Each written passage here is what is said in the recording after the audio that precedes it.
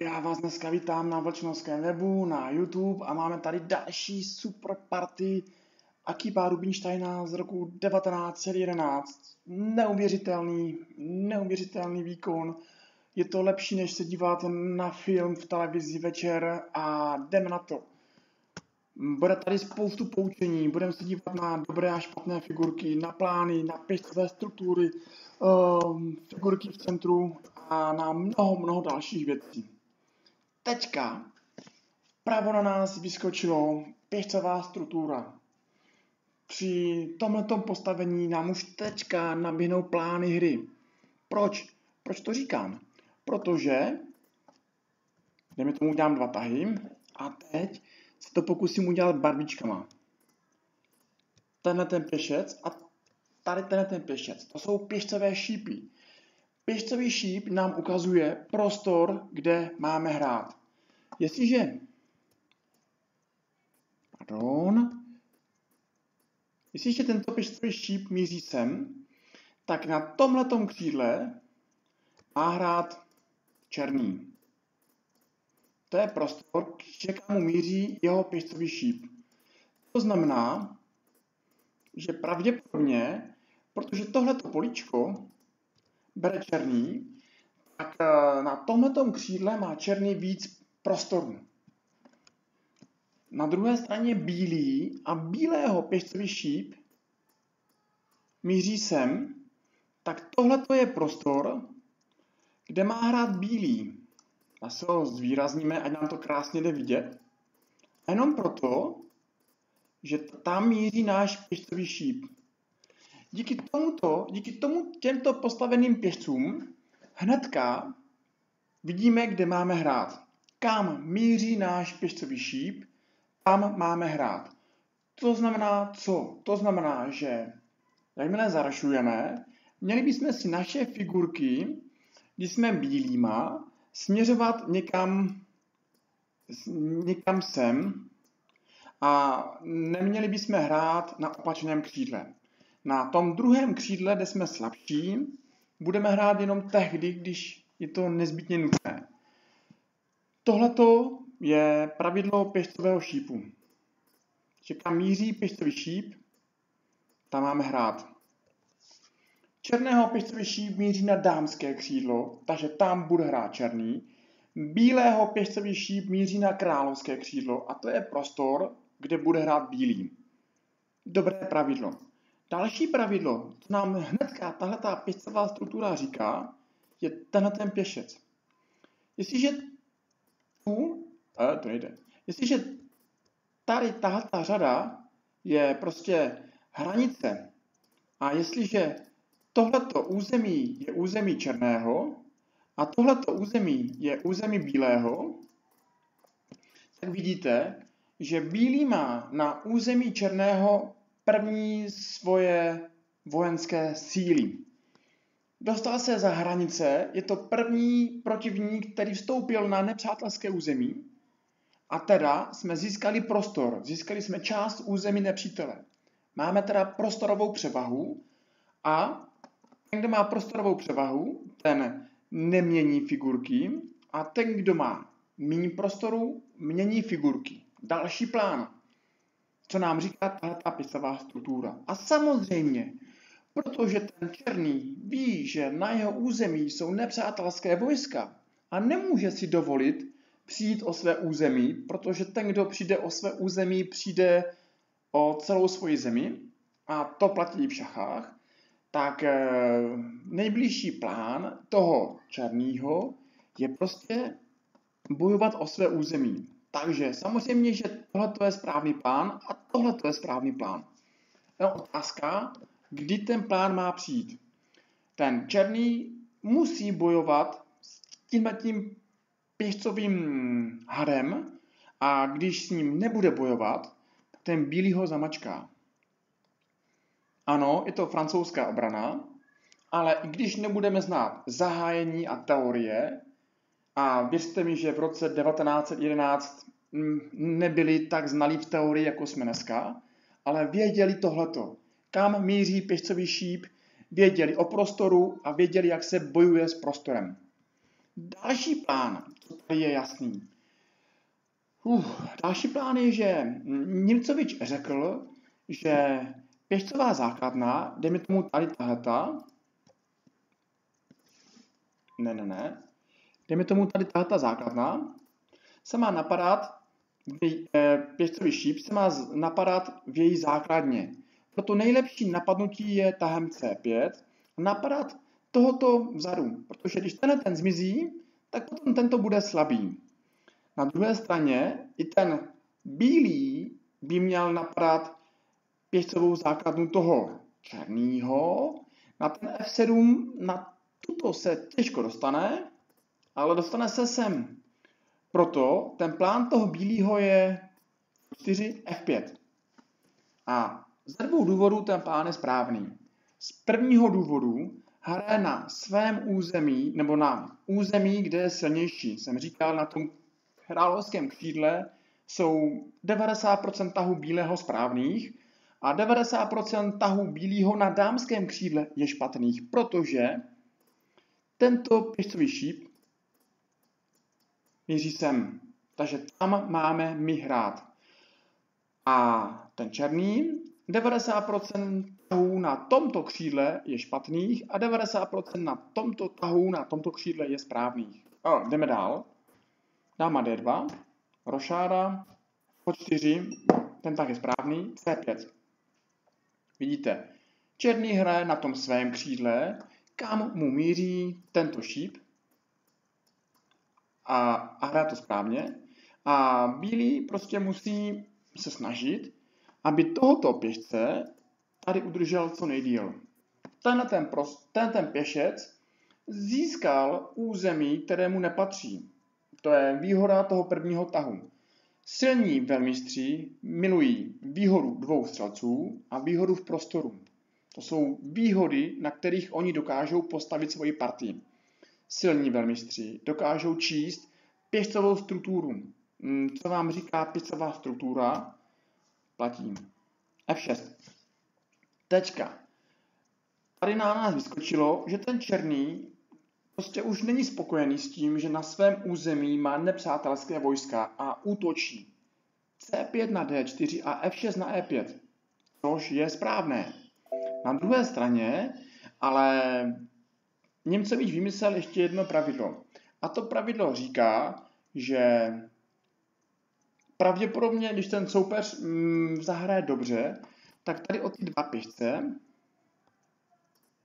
můžeme přijít ale ten prostor tam stále bude.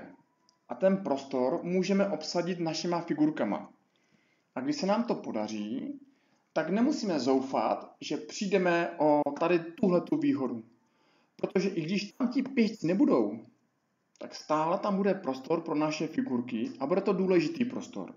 Nejdůležitější prostor v takové hře je centrum. Kdo ovládne centrum, ovládá šachovnici a vyhraje partii. Figurky jsou nejlepší, když stojí v centru, protože pořád platí, kdo ovládne centrum, ovládne partii. Vzal na F6, protože když to vezme G, je to trošku nebezpečný, a když to vezme jakoukoliv figurou, tak je tady už první možnost, první možnost obsadit tohleto políčko. A jak to říká Němcovič, když tam ti pěšci zmizí, tak tam ty polička stále zůstanou. Dáma F6 napadá nám na F4, takže G3 jasný tah, rošára a A6. A6 není moc dobrý tah, i když, dalo by se říct, samozřejmě, ten černý hraje na tom svém křídle a vidíte, že ten černý byl taky silný hráč a Leven Fish byl hodně silným hráčem a neprohrával. Někdy bývá lepší zakvizovat si své figurky. Vidíte, že ten kůň na tom C5 stojí líp než na D7. Co tady je zásadní v téhleté partii, a teď se na to můžeme podívat jako prvně, že ten bílý a lepší figurky, mírně lepší figurky než ten černý. Zatím to není úplně tragický rozdíl, ale tento kůň stojí stejně jak tento kůň. Takže tam není výhoda. Tento kůň je jasně lepší než tento kůň, protože tento kůň už bere polička za polovinou, ale tento kůň šahá maximálně na své území. Takže tento kůň je lepší. A tento střelec nemá žádné políčko. Takže ten černý, díky tomu, že stále má méně prostoru, má problémy se svýma figurkama. Teď je krásně vidět, že proč tomu černému vyhovuje pár výměn, protože má problémy. A A6 právě, že ty problémy s těma figurkama neřeší. Hraje to dobře na svém křídle, hraje to aktivně, ale takto by ty figurky měl trošku lepší a tento střelec, dejme tomu, že tento kůň se může někdo dostat sem a tento střelec může jít takový známý francouzský manévr až na G6 a potom ten střelec na tom G6 by stál fantasticky a byla by to hodně silná figurka. Takže stará ruská škola říká, že eh, když máme dobrý tah figurkou, nebo když si můžeme vylepšit figurky, nebývá dobré hrát těma pěšci. I když tady to je ve správném plánu, ten černý hraje na svém křídle. Svec G2 a je B6. Teďka vám ukážu překrásnou věc. Proč ten bílý stojí líp?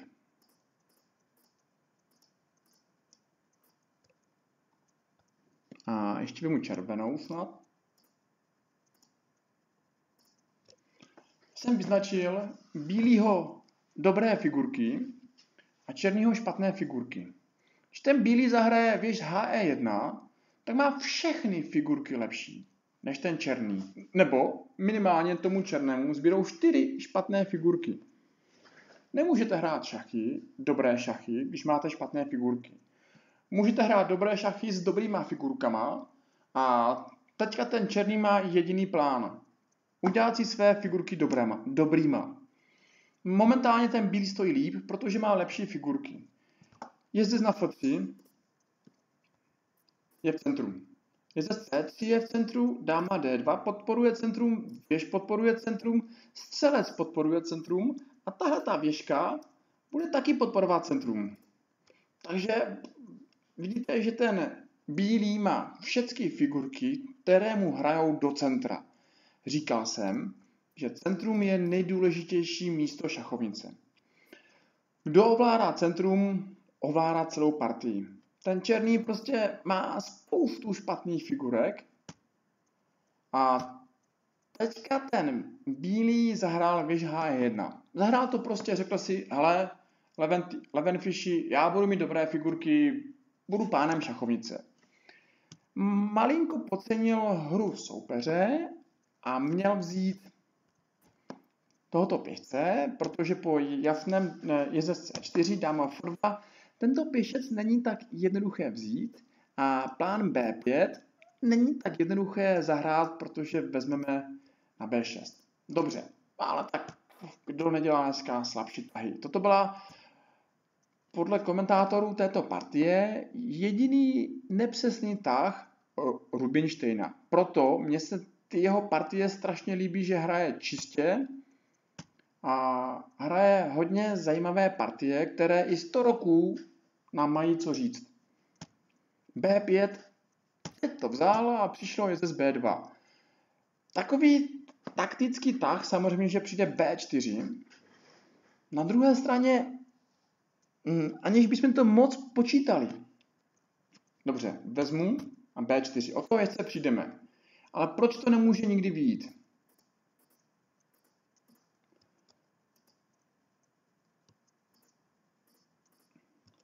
Protože ten černý má jenom dvě dobré figurky. A červené barvy jsou špatné figurky, jasné, že ještě nehráli. A prostě je jasný, že dvě figurky nepřebijou čtyři dobré figurky. Prostě i takticky to by musela být strašná náhoda, že by to tomu černému vyšlo. Vidíte ten rozdíl, kolik má dobrých figurek a kolik špatných figurek každá strana? A proč jsou ty bílého figurky dobrýma? No protože hrajou do centra. A proč jsou ty černého figurky špatné? Protože vůbec nehrajou do centra. Neboli skoro vůbec nehrajou. Z tohoto vyššího principu tak taktika nemůže být. Je to jenom prostě otázka přesné obrany. Špatné je jezdec E5. Kdo si to spočítá, tak si mě zastavte. A kdo si mě nechce zastavit a dívá se na to jako film, tak pro tohleto pác, pác, pác, pác, pác. A je to špatný. Takže i v dobrých pozicích musíme trošku počítat. A půjdeme sem. Vzít na C3 je trošku riskantní. A teďka. E, špatné je střelec D7. Dokážete to spočítat? Takže špatné to je pro tady tohleto. A vidíte, jak to krásně hraje tomu bílému. Takže to nejde. A soupeř vzal na D4. Ještě jednou vám něco ukážu. A bude to strašně krásný obrázek.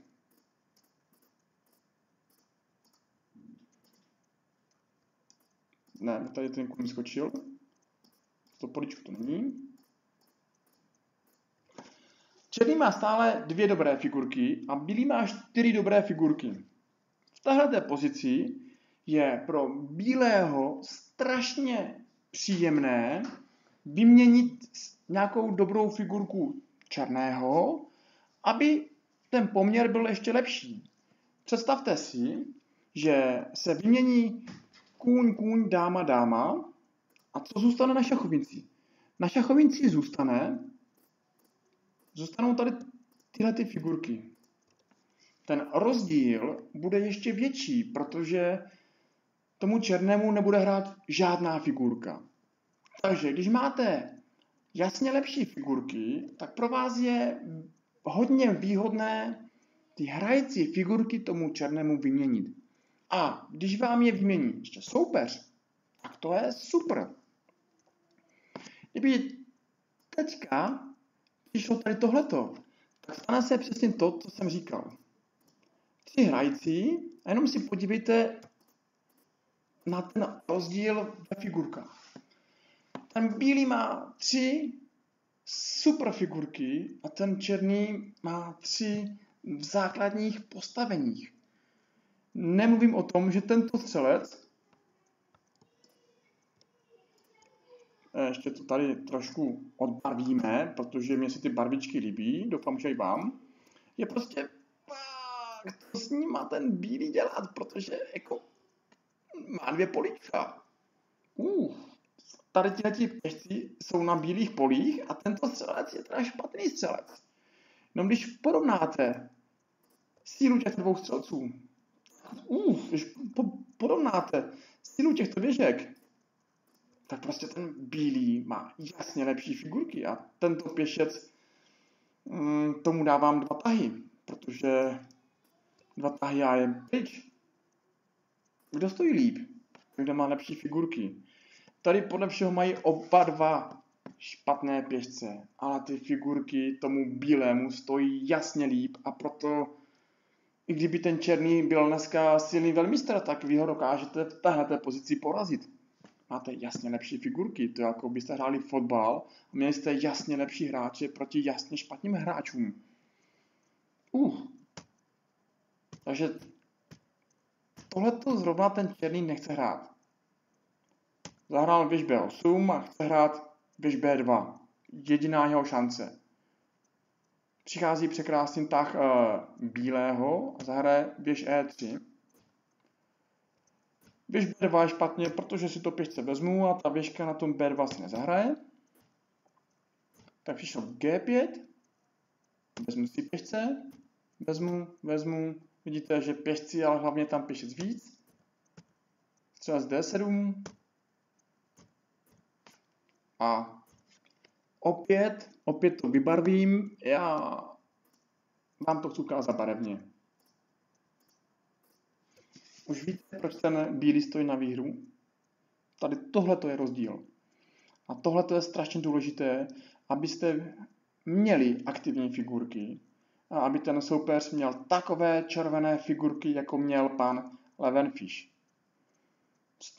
105 roků stará partie nám ukazuje, jak je důležité mít ve hře figurky. Jak je důležité, aby nám zůstaly dobré figurky. A když ten, ta partie už opravdu není dlouhá a černý se vzdal. Jak je důležité mít prostě dobré figurky a uh, když ten černý má nějaké dobré figurky, třeba tady dvě, tak jak je dobré mu ty dobré figurky vyměnit? To silná zbraň a prostě nemusí to být hned. Ale jak se to stane? Prostě, uf, ten černý nemá nic. Tady prostě, tady tohleto, s těma to červenýma figurkama se nedá hrát. A co nám teda chtěla říct tahle ta partie? Tahle ta partie vám chtěla říct, dívejte se na své pěšce, na svoji pěšcovou strukturu, protože ta vám řekne, kde máte hrát a kde je vaše silná strana. Potom vám ta partie chtěla říct, že ano, může se stát, že vám ten soupeř po centrum rozstřelí. To je správné. Když jste černýma, musíte to centrum rozstřelit. Ale pak si pamatujte, že i když tam ti pěšci zmizí, tak ty políčka tam zůstanou. A další věc, že pěšcem jako tento A6 je správný na správném křídle, ale není správný, když máte takové figurky. Ruská škola říká, správte figurky, potom tahejte pěšcema. Neboli, když tahnete pěšcem, tak je to pravděpodobně dobrý tah, špatný tah. 50%. Když spravíte figurku, je to na 90% dobrý tah. Protože když ty figurky nebudete spravovat, tak se dostanete do něčeho takového. Taktika, taktika vám nepomůže.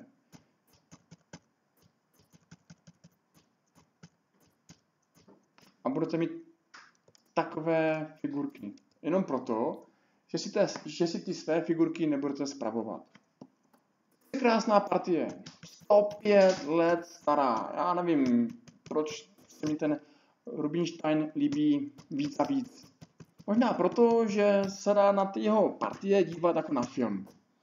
Není to žádná Angelika, mm, není tam žádná Markíza a Sultán, ale je to překrásné. Má dobré figurky, ví, co hraje, je si vědom, že ty figurky ho podrží, že, ty, že ta pozice to ustojí, když tam přijde nějaká nepříjemnost. I tady si řekne, no dobrý, je to nepříjemný, ale prostě čím mě ohrozíš? Tady tímhletím máš dva bojovníky. Já ti postavím prostě pět bojovníků. Jestli do doby, než ti nebude hrát tady tohleto, tak je to 2 na 5. Jak to dopadne? 2 na 5. Prostě to nemůže dopadnout s tím černým dobře. Druhá věc, jsem říkal, že tady bylo takové centrum. Teď vám ukážu, že i když tam to centrum není, jsou tam stále ty políčka. Dívejte se. Jedno políčko, které jsme obsadili, políčko stále obsazuju, takže i když tam ti pěšci naši nejsou, uh, stále tam máme ty políčka. A to políčko pořád, vidíte, že ten bílý od tyhle ty políčka, kde měl ty pěšce, tak o ty políčka celou partii o ně nepřišel. I když tam ti pěšci teda zmizí, a je to správný, že zmizí, a rozstřelí je nám soupeř, tak oni tam stále jsou. To je hodně neznámé pravidlo, které vymyslel Nimcovič opravdu 100 roku před náma a stále platí. Takže nebudeme zoufat, když nám soupeř rozstřelí centrum, stále tam ty políčka jsou. Budeme s tím, doufám, pamatovat, kde máme hrát a kam nám míří náš pěstový šíp. A to je strana, kde máme hrát. A budeme si pamatovat, že šachy je hra figurek že když se nám na nás vrhne soupeř a bude mít jenom dvě figurky ve hře, tak mu to na 90% nemůže být. Tohle to byla myšlenka tohoto videa. Tohle to byla vzpomínka na skvělého hráče Akiba Rubinsteina. Kdyby si mohl zapnout v nebi YouTube, tak eh, možná by měl radost, že si na něho někdo vzpomněl, protože wow, tohle to jsou šachy. Wow, a přeju vám, abyste takto hráli šachy. A není to těžký. Je to prostě omezený prostor a pár figurek. Dejte figurkám hru, dejte jim život a někdo za 100 roků se podívá na vaši partii. A to bych vám strašně moc přál. Přeju vám překrásný den, překrásné léto a někdy příště. Čau.